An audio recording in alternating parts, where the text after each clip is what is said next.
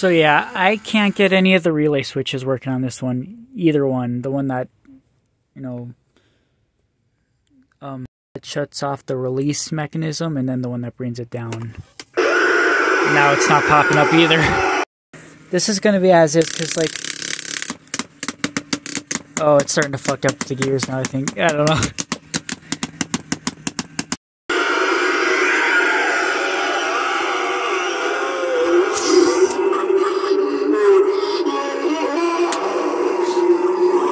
I don't know, sometimes it doesn't turn on and I wiggle some of these wires on the harness or whatever and then it starts working. So I don't know, there's a lot of issues.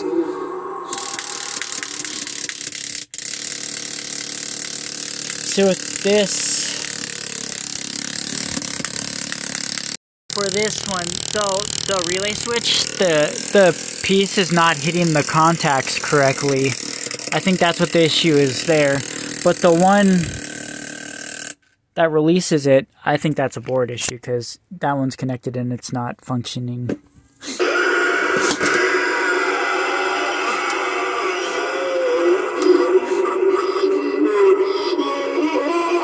I mean, it still works. It's just gonna, it just clicks every time it goes down. And sometimes it won't go down because the the piece will stop on the release pin, keeping it from resetting. But yeah.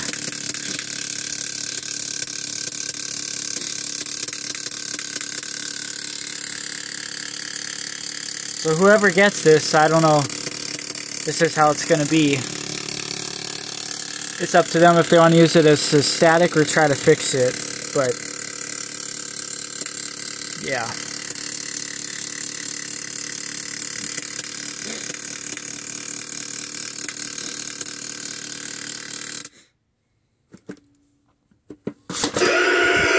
So yeah.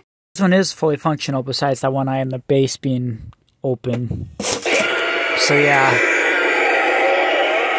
Okay, so there actually was a reason I disconnected the relay switch wire from this is because it stops when it's in the up position. I'll show you.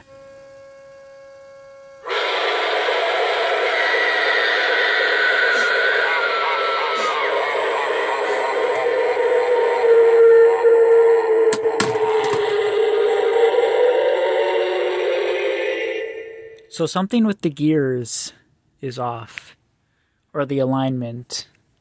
It might actually be somewhat of a board issue because it's so delayed with responding. It shouldn't be that delayed.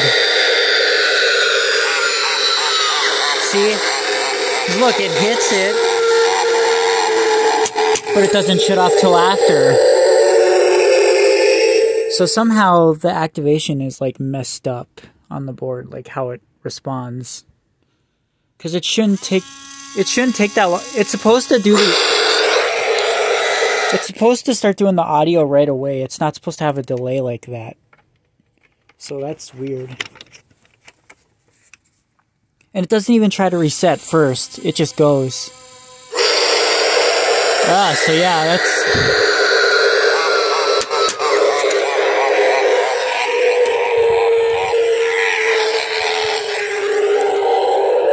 So I don't know. Again, that's up to whoever gets the wants to get this. Um, it's gonna be up to you if you want it to be like this, or if you disconnect that wire, it'll just continuously jump, which eventually the motor will die because that's what happens. So.